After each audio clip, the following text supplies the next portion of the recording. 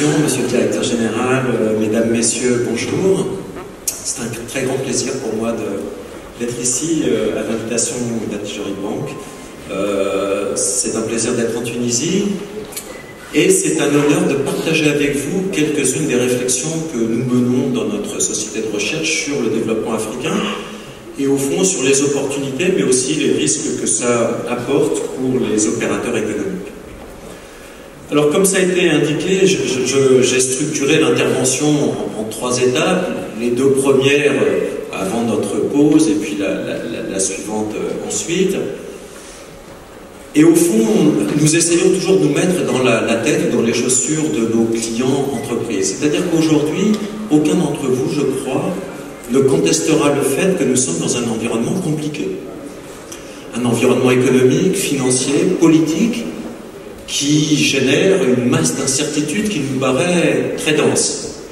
Et pourtant, dans cette masse d'incertitudes, vous, euh, chef d'entreprise, opérateur, vous devez continuer à avancer, à investir, à monter des opérations, à développer les affaires.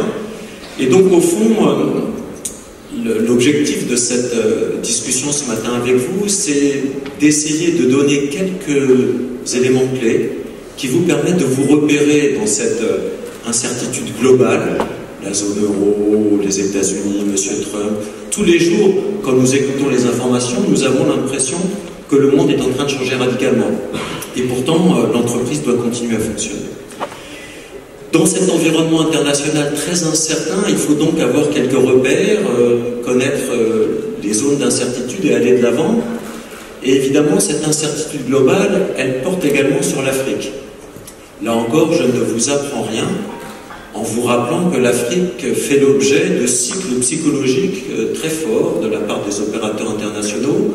Après plusieurs décennies d'afro-pessimisme, en quelque sorte, on a eu, au cours des 15 dernières années, le retour d'un très fort afro-optimisme, fondé sur euh, l'observation concrète, réelle, d'un décollage africain qui était présent, mais évidemment avec des caractéristiques particulières, et notamment ce que nous découvrons depuis 2014, une sensibilité au cours des matières premières qui est restée très forte.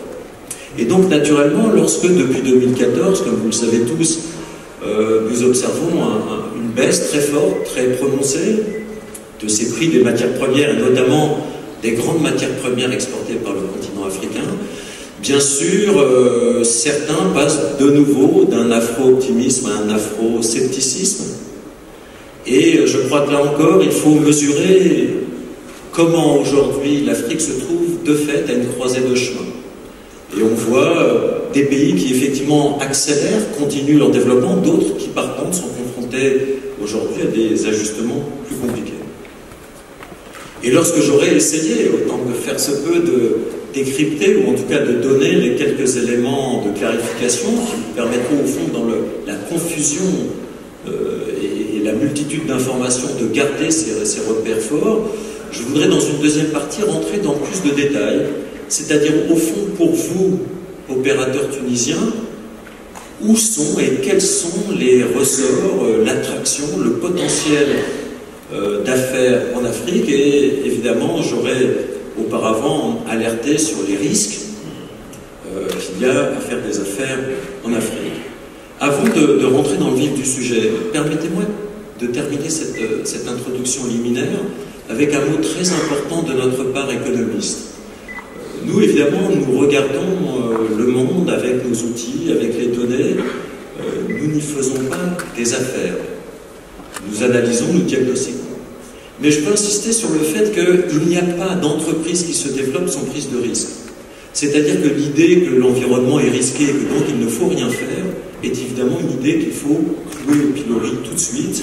Euh, l'idée n'est pas d'éliminer l'incertitude, mais de la mesurer, de la pricer, comme disent nos amis anglo-saxons, c'est-à-dire de lui donner un prix, d'être sûr que cette incertitude est intégrée dans vos plans, dans vos projets, dans votre rentabilité, bien sûr.